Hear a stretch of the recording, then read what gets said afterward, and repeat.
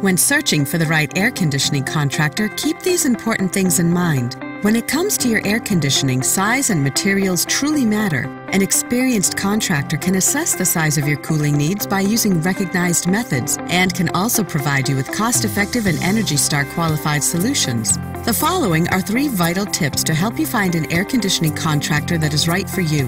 1. Make sure your written estimate includes details on cooling capacity, energy efficiency, and product warranties. 2.